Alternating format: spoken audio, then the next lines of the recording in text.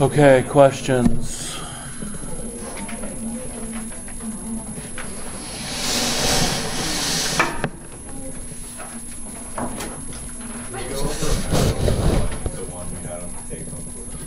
A mechanism like we had on the take-home quiz, sure. Um, so let, how about this one?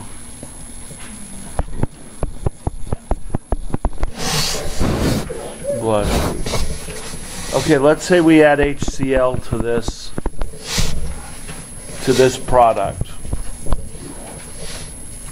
or HCl to this diene. So numbering one, two, three, and four. now, bless you again. So the issue is that where am I going to add the H plus?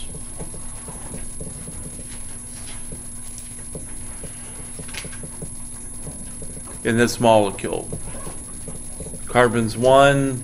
Well, it's symmetrical, so your choices are either one or one and four, one or four, or two or three. Hold on, we'll take a poll.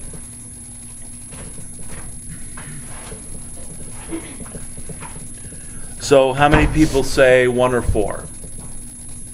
How many people say two or three? It's okay. You can be by yourself. So, what's my rule? Why did you say one or four? And then we'll come back to two or three. Carolyn? Add the hydrogen to the end of the chain. Okay, that's that's my rule. And what's the reasoning behind my rule?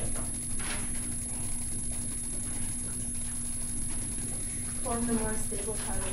Because I want to form the more stable carbocation. So if I add the H plus then to carbon 1, and we will come back to adding bit 2 or 3. If I add the H plus then to carbon 1, I'm going to end up with the H here, the plus here, and the double bond there.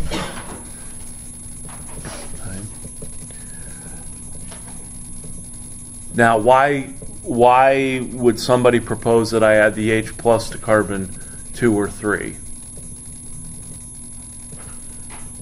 You, Katie, you were the only one with your hands up, so that's, and it's fine.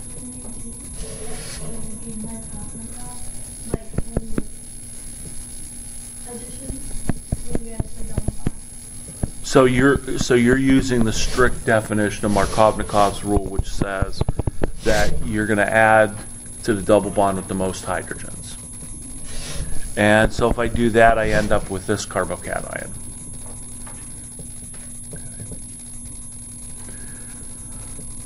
So which of those two is more stable? The one on the left or the one on the right?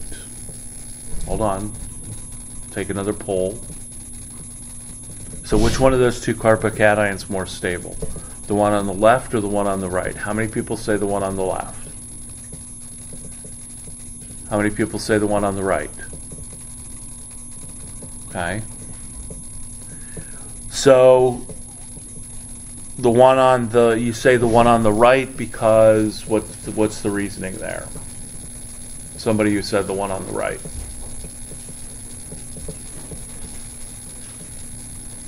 Tertiary instead of secondary. Tertiary instead of secondary, so that would make the one on the right more stable. How about somebody who said one on the left? What would you think, Melanie?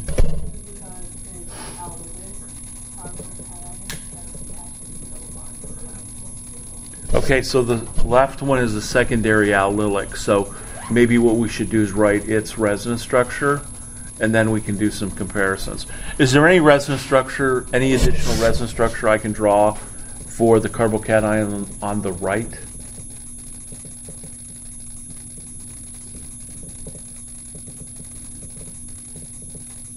No? It's, it's pretty much done.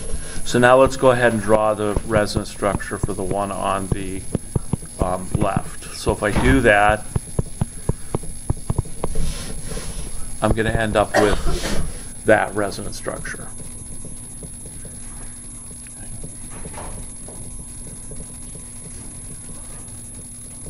So adding the H plus to the end of the system, in this case, the 1 or the 4, I'm going to get two carbocation resonance structures.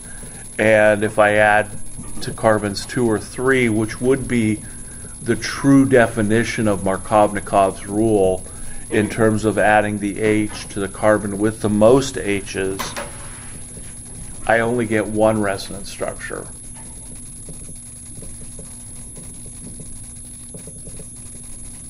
So does 2 beat 1. Those two resonance structures be just one.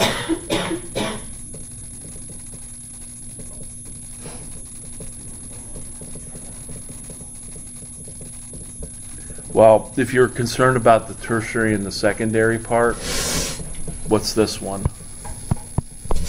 That's a tertiary carbocation, and that's a tertiary carbocation. So, if you're concerned about a tertiary versus secondary, I just tied the left and the right, but now it's got an additional resonance structure, and so that's going to make the left that's going to make the left one more stable. So here's the issue. The issue is that we're going to use the broadest definition of Markovnikov's rule. The strict Markovnikov definition of Markovnikov's rule is you add to the carbon with the most hydrogens. But the reason that I have the rule that you add to the end of the 1,4 diene system is because I'm going to form the more stable carbocation which is now sort of the broadest definition of Markovnikov's rule. You always want to add the electrophile to form the most stable carbocation. And what you're going to find is in this system, which was in the ring, there were the double bonds that were at the 1 and the 4 position, or the methyl groups that were at the 1 and the 4 position. If you added inside, you need to add to carbons 1 and 4 because it's exactly like this system.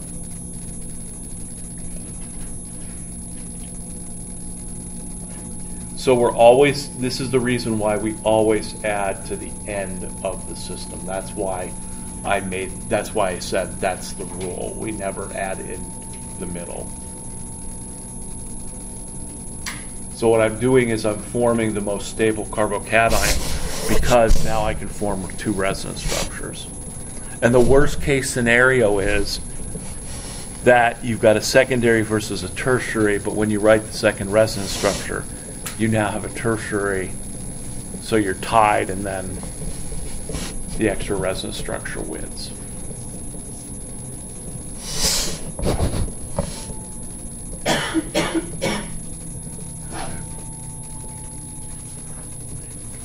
Does that make sense? I didn't get a chance to do that at the end of class. Somebody uh, asked me at the end of class, like, why wouldn't you add in the middle for this one? And the reason I, and the reason I give you these, I gave you, well, in the practice problems, there's this one, and then there's a methyl group off of two and three. And when the methyl groups are off of two and three, it's easy because strict Markovnikov rule also matches up adding at the end. So when I give you these problems, what you have, I'm going to have to make these symmetrical so that one and four, there's no difference. Because otherwise, if it's unsymmetrical, then you're going to have four different products. Because you could add the H plus at this end, and that's going to give you two different products than if you added it at this end. So I always make it symmetrical. Um, and then you always add to carbon one or four. So that's that issue of that problem. Let me let me do this problem a little bit differently to give you kind of two options in terms of solving it. And you can turn in your I'm not there's no homework or quiz problems for Monday. So if you need to go back and take a look at that, you can. So you can just turn those problems in on Monday. Um, but let's just let's look at this problem from the standpoint of doing it. which is what your question was, can I do a problem from start to finish? So let's do it from start to finish. Let's say I'm not, I, I'm not real, I'm not real good with the mechanism of forming the resonance structures. Is there a way that I could do this problem without doing the resonance, without drawing out the allylic carbocation, then moving the pair of electrons to form it? Yes, there is a way. And that is that if I'm adding HCl to this, let's just write our 1, 2, 1, 4, sorry, start all over again. Our 1, 2, and our 1, 4 product. So if I'm writing the 1, 2 product, what I have to remember is that it's not that one, that I'm just adding the H and the Cl to carbons 1 and 2. Okay. So if I draw the 1, 2, 1, 4 product, I don't even need to know anything about the mechanism. So if I gave you this kind of a problem as a write the products of the reaction, you don't have to go through the mechanism. You just have to go, okay, there's my 1, 2 product. What's my 1, 4 product going to look like? My 1, 4 product is going to one, two, three, four, and you just have to remember the double bond then goes between two and three. So I can write my 1, 2 and my 1, 4 product without going through the entire mechanism. And then what we can do is then we can work backwards to get the carbocations. So, how did we get the carbocations? The chlorine added to what was a C plus. So now I'm just going to say, okay, I'm going to go ahead and put a carbocation where the chlorine was in both of those structures. And then that's where the Cl minus added.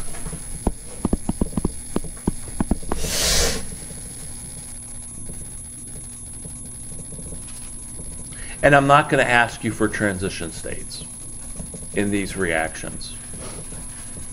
Because there's too many, there's, there's a potential for too many dotted lines here. You got a resonance hybrid. Um, so I'm just going to ask you to, to write the intermediates. Okay. So if you start with the 1214 product, then erase the chlorine, that's where the plus charge goes, and that's where the chlorine added. Okay? And we know that these two then are resonance structures.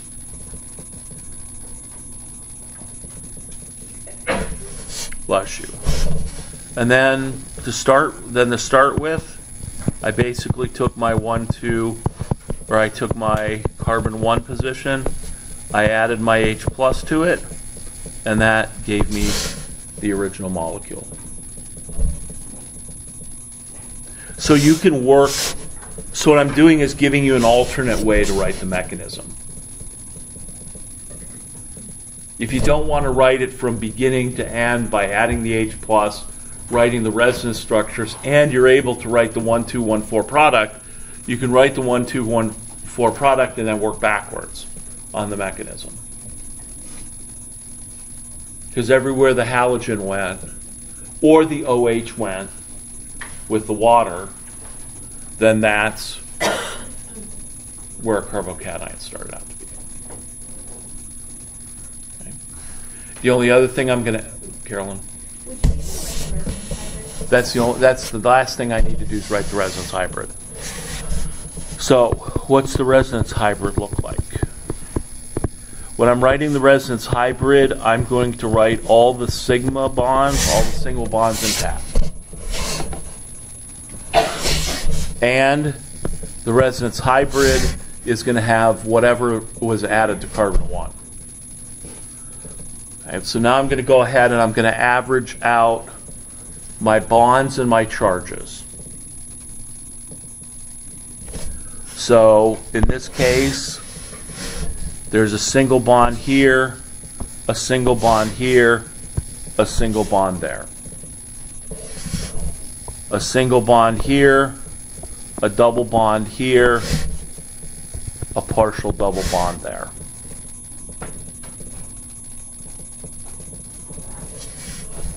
A double bond here, a single bond there, another partial double bond. So writing the resonance hybrid is kind of like writing the transition state. The resonance hybrid is nothing more than the average of the two resonance structures. Now I'm going to average, Katie. Oh, no, no, no. It's a question for Esther. Okay. So now I'm going to average charges.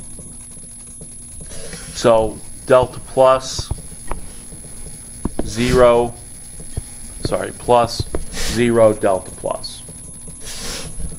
Zero, zero, zero.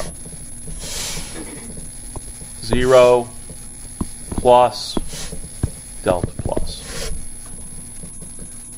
So what you find what you find with writing the resonance hybrid is everywhere there was a there's a double bond is going to be a partial double bond and everywhere there was a positive charge is going to become a delta positive charge with these systems but if you're in doubt average bonds average charges that gives you this as my resonance hybrid Okay, Could you do the thermodynamic and kinetic product? That's the next thing we do. Okay? Everybody with me so far? So then the kinetic versus the thermodynamic product. So what's the what is the let's start with thermodynamic product. What's the thermodynamic product? It's the most stable. So what am I going to look at if I want to determine the most stable product? The the double bonds. I want to look at the double bonds. So which one of these two products then, and, and it's the 1 2 versus the 1 4, which one of those two products has the most substituted double bond?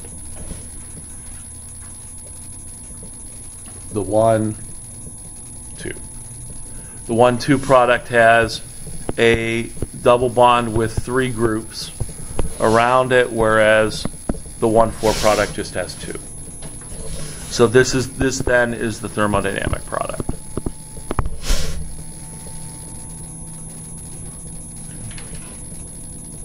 And remember, what when I'm determining the most stable of anything, I need rules. And so I have rules for double bonds. I have rules for carbocations. I don't have rules for primary, secondary, tertiary halides because there really aren't rules. So the halide doesn't come into play, only the double bond comes into play. Now, you could say, well, the other one's got to be kinetic. Probably. That would probably be the case in 99% of the problems. But then you have to hope I don't find the 1% problem to put on the test. So we're better off just to go back to the basics. Okay, thermodynamic product, most substituted alkene. Kinetic product comes from the most stable carbocation intermediate. So looking at that, which one is that? This is a secondary, this is a tertiary. Since this is a tertiary carbocation, then that puts this as the kinetic product. And for these systems, it will always be that way. The most stable carbocation intermediate will always give the thermodynamic or kinetic product. The most stable product will always be the thermodynamic product. So most substitute.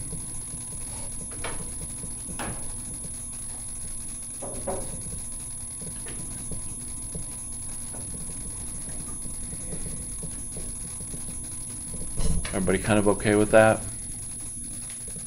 So that's just another way to do it. If you want to add the H plus to carbon one or four, then write the res, then draw the resin structures you can do it from beginning to end that way.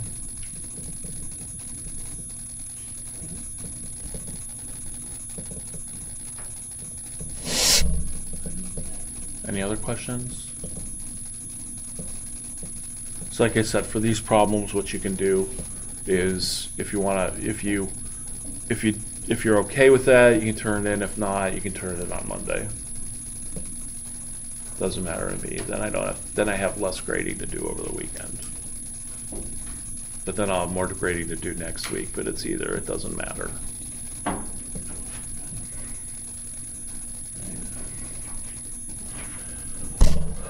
Okay.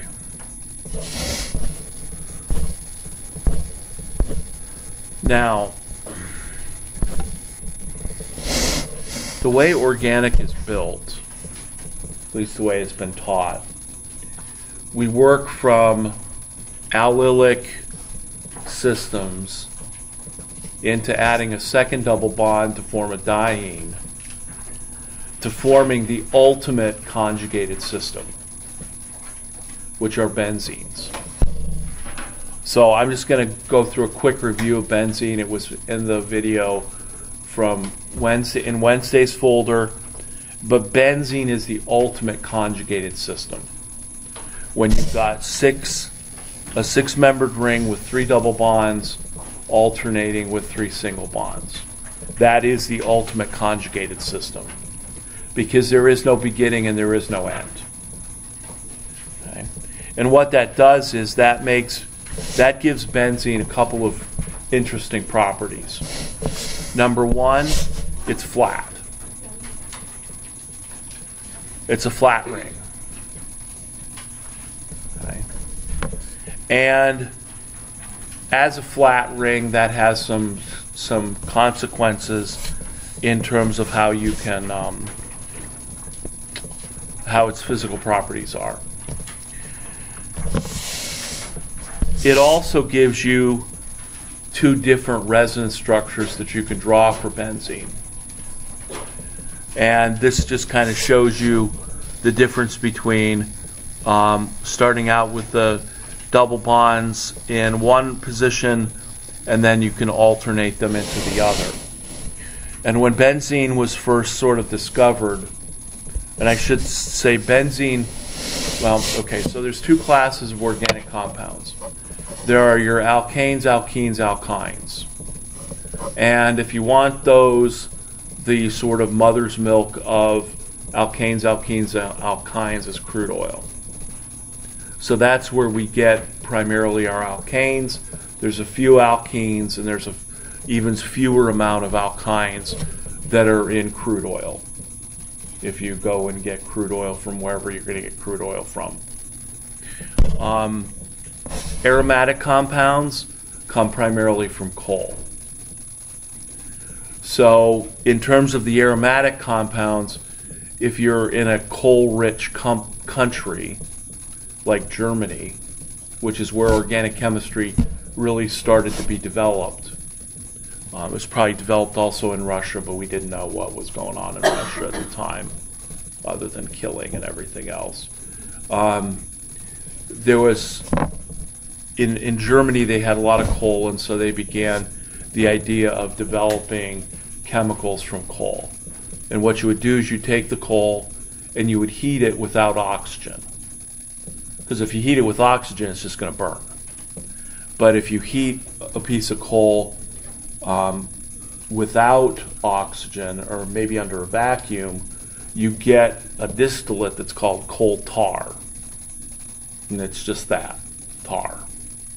But in that tar is a whole bunch of different um, organic molecules that then became building blocks for dyes, for medicines. And so it's really the coal tar that gave the German chemists a lot of things to work on. And we'll get to like TNT. You know, the explosive is an aromatic compound that you can make. You shouldn't, but you can make it. But you could make it. Um, so that's kind of where the that's kind of where the aromatic compounds come from. Is come from they come from coal. So once people isolated benzene, then they knew it was C6H6, but they didn't know how it was drawn. They didn't know how to draw the structure. And so there was probably a good 20 years where people were debating all the possibilities of benzene. And the person that came up with the structures we now know as Kekulé, and this is the famous story of him um, basically having a little, he had a few too many adult beverages one night, and this problem was on his mind. He fell asleep by the fire, and he had a dream of snakes, where he thought benzene was the snake wrapping around and grabbing its tail, which it is, kind of. And so then he proposed that benzene was the six membered ring. Um, it took a while to say that these two were resonance structures because the rule is well, the easy way to determine um, whether something is or whether these two are resonance structures or real structures is let's say I put two methyl groups here and if I put those two methyl groups there, in terms of the double bond placement between the um, between the double between the methyl groups themselves, we would actually expect that if these two, if the bonds didn't, if there wasn't a resonance structure or a resonance hybrid, that those two would be different molecules altogether. Because the double bond between the two methyl groups would be different than having a single bond there. And so it was quickly, in chemistry terms, quickly might mean five to ten years. It was quickly determined that instead these um, rings or these double bonds were more of a resonance structure. They were they weren't fixed. Originally, they proposed that the benzene rings were just simply switching back and forth between the resonance structures very rapidly. Now we know that that's not the case. Now we know we have a resonance hybrid, but that was all done with benzene. That's kind of like my example of resonance. The resonance hybrid is the average. It's the hybrid. So my example, so my my absurd example of the resonance hybrid is that if you had a pit bull and a chihuahua and they had a baby dog or a baby puppy, I suppose you could call it. That would not constantly be switching between a chihuahua and a pit bull. As cool as that would be. Right? This is how the whole genetics thing pretty much works. So the resonance hybrids don't constantly switch back and forth. But it took people a while to realize that.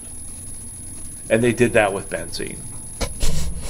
Once one Super Bowl years ago, they had the Doberman head on a Chihuahua that was chasing a car.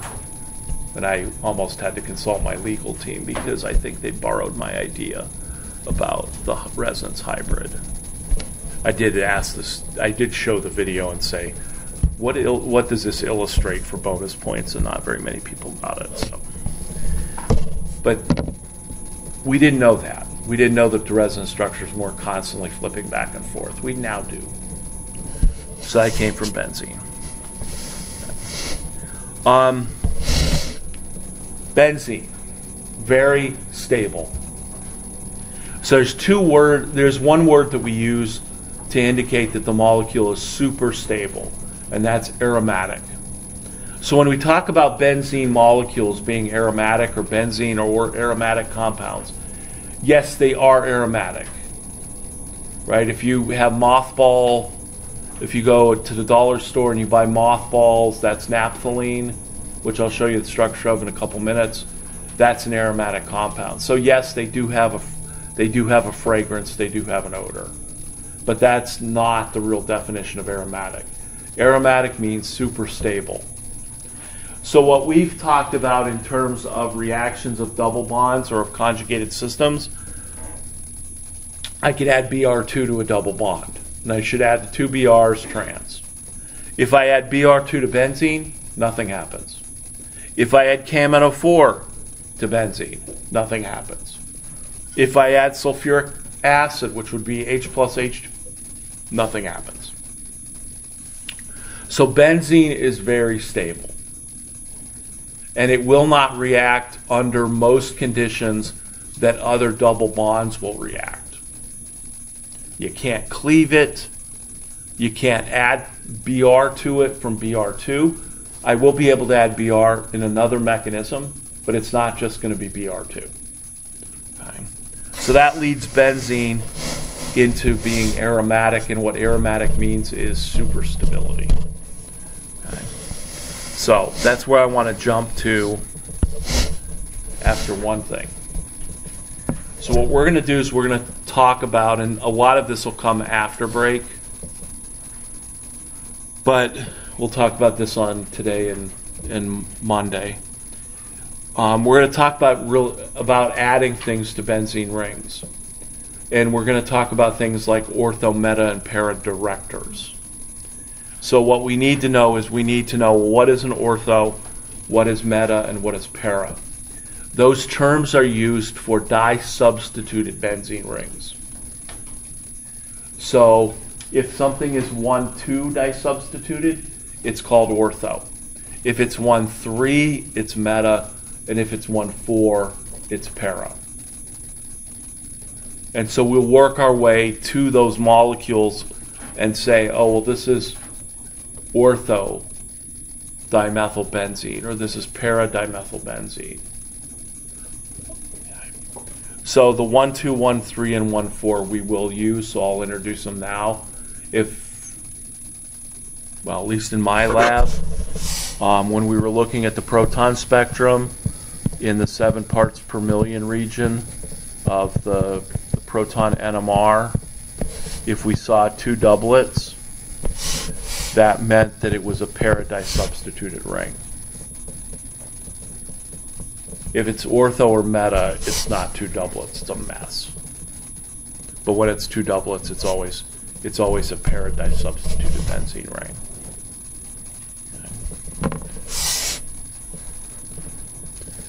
So that's what we want to. That's what I want to work into now. What are the rules for molecules to be aromatic? And when I say aromatic, I mean super stable. So here are some rings that are fused together that are called polycyclic aromatic compounds. They are also abbreviated as PAHs.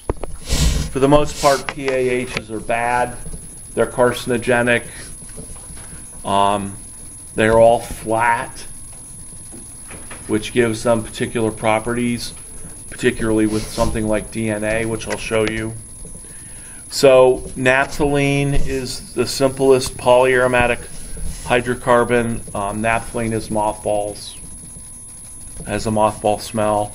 Anthracene, if you think, if you've heard that term in relationship to coal, that's um, found in coal. Then there's benzopyrenes. Um, biphenyl is not a fused system. But on the other hand, if you have a polychlorinated biphenyl, that's a PCB. And those are exceptionally toxic. All the PCBs, like all environmental problems, go back. You know, this one, the PCBs, they were in transformers that were on the telephone poles. So if you've ever heard of like Love Canal in Buffalo, and you weren't even born, when that was a problem, you weren't born yet. I was. So I remember the news reports of them finding all of the PCB laden um, soils in a particular area of Buffalo. And so that was, that's where PCBs made national news. But they were like outside of everybody's house because they were in the transformers. As long as the transformers stayed on the, on the pole, it didn't explode or anything like that, we didn't have to worry about PCBs. But that was one of those big, huge environmental issues back in the 70s. I said that was a long time ago. But that's what a polychlorinated biphenyl looks like. So, again, polychlorinated biphenyl, super stable, hard to react, hard to get rid of. persistent in the environment for a long time. So, flatness, there's your double stranded DNA with your intercalation sites. I've only had one semester of general biology, and that was second semester senior year while I was taking biochemistry. Those freshmen were not happy. There was a little bit of a curve that was busted in that class. But I didn't get bonus points either. So I know, I usually say I know this much biology and my fingers are really close together. I might know a little bit more, but so here's your DNA with your intercalation sites, right? Those are the grooves in between. Flat molecules fit in there very nicely. And what are my aromatic compounds? They're flat molecules, so they kind of fit into those sites.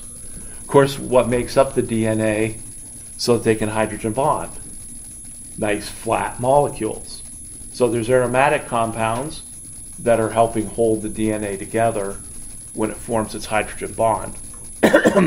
Whoever designed that, or if it was just a random act of nature, that's another class, another place in the, in the university. But if I was going to scaffold something together, I probably want my things holding my DNA to, to be unreactive.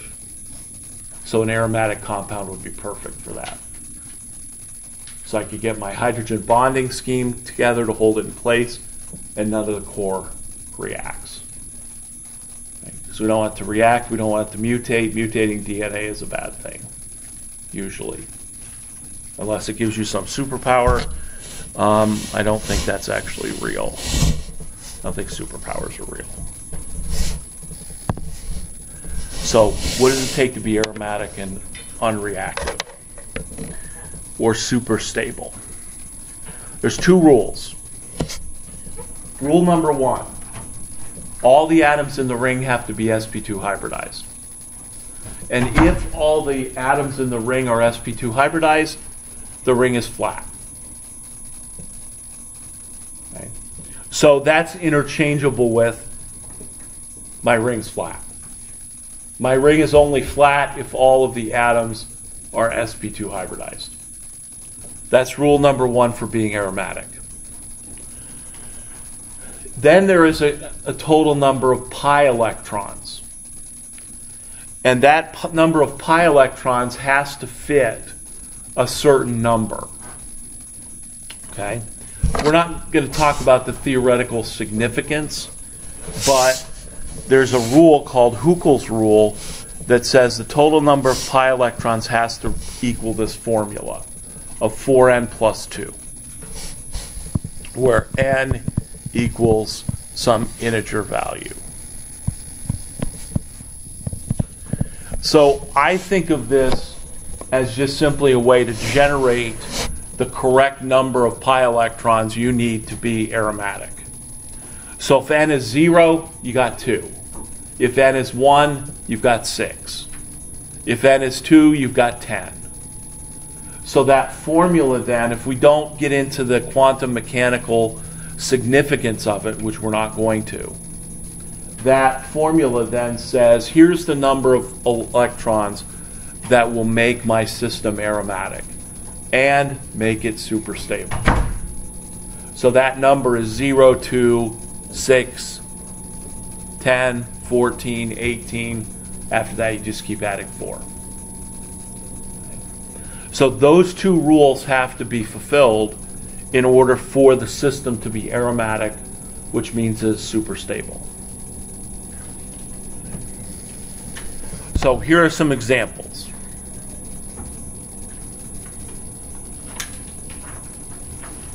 And it turns out that there are three classifications that I can put these molecules in. So when I say aromatic or not, it's actually aromatic, non aromatic, which means that it just doesn't fit either of those two rules. So one one rule is um, not followed, And then there's anti aromatic. An anti aromatic means that it is super unstable. So, an anti aromatic means that you have a planar, you have a, a flat ring, but you have 4n numbers of pi electrons. And when you have 4n numbers of pi electrons, that makes the system super unstable. So we can kind of take these of these molecules one at a time. So for instance, cyclopropene. What do you think? First of all, are all the ring carbons sp2 hybridized?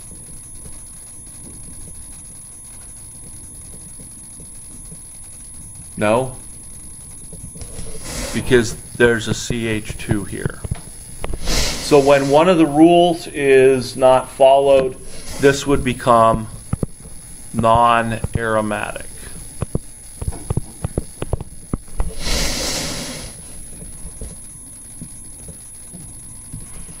Now, you could argue, but wait, that's planar. And it is, because it takes three points to define a plane. So with a triangular structure like that, it is planar, but that's not what the rule says. The rule says all of the ring atoms have to be sp2. This one is sp. So that one's non-aromatic. Cyclobutadiene.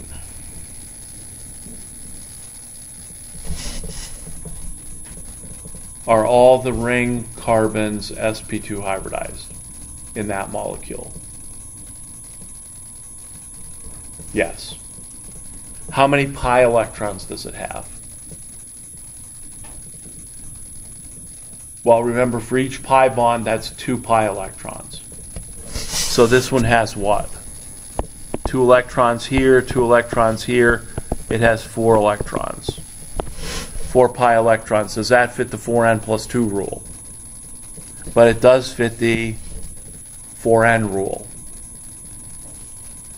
So if it fits the 4n rule, then that makes this molecule anti-aromatic. And so what does that mean? That means that you're going to have a really difficult time making cyclobutadiene.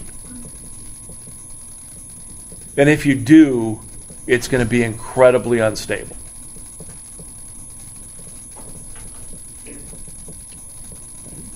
Now, normally, if normally in science, when somebody says you can't do something, people try and do it, right? Because that's just the nature. If I can do something that you that the rules say can't be done, then that's fame and fortune. Well, probably no fortune involved, but at least you get your name in a book somewhere. So for this one, can it be made? It actually has been made for like a fraction of a second. It's been made, and it's been its structure's been studied, and it's not square. It's kind of a parallelogram, and it's really unstable. So they could study it for less than a for less than a second. So it has been made, but it's just really, really, really unstable. Okay, um, the cyclopentadiene molecule that we talked about with Diels-Alders on Wednesday. Is it aromatic? Well, my answer would probably be no because we did reactions with it on Wednesday, and super stability means you don't react. So it's not. Why not? Because what does it have here? it's got a CH2. So with a CH2 there, the rings are not all sp2 hybridized, so this one would be non-aromatic.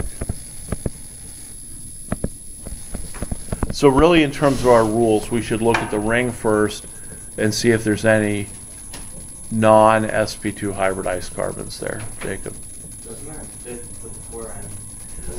That's okay. So yes, it does, but the four n pl- the four n or the four n plus two rule will only be will only come into play if the ring is all sp2 hybridized atoms, or if the molecule can choose to do that. So we we have some technical stuff that we have to deal with, probably on Monday. So yes, it does have 4N, but since it's not completely planar, we don't have to worry about it being anti-aromatic. The other thing that that'll sort of will come into play here is a molecule will I'm given the molecule again human characteristics.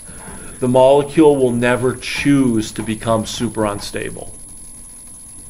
The cyclobutadiene here has no choice. So you could say, well, what if this molecule decided to become all planar? If it did in this one, it would be super unstable. It would never choose that. So it would much rather be non aromatic, which just means it's non aromatic. It's not as stable as an aromatic system, but it's not as unstable as a anti aromatic system. So that's why we always look at the ring system first. This one, there's a CH2, so it's non-aromatic. If we look at this one, there's another CH2, it's non-aromatic. This anthracene we saw on a previous page, all of its ring carbons are sp2 hybridized. How many pi electrons does it have? Two, four, six, eight. Wait, two, four, six, 8, 10, 12, 14. So this has 14 pi electrons. Does that fit the 4n plus 2 rule? Yes. 14 is a number of electrons to make a system aromatic. The stop sign shaped cyclooctatetraene, all of its ring carbons are sp2 hybridized. How many pi electrons? Eight. So this one would be anti-aromatic. Except in its real structure, again, it doesn't choose. If there's a way out of being anti-aromatic, it'll find it that molecule actually is not planar. It twists somehow and busts up the, arom- the anti-aromaticity. Okay. So that's how we judge hydrocarbons. On Monday, we'll finish this topic up by talking about what happens when there's an N or an O in the ring and what happens if I make it an anion.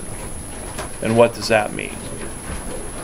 Okay, so if you if you want to turn in your homework problems, you can. Otherwise, or quiz problems. Otherwise, I'll collect them up on Monday.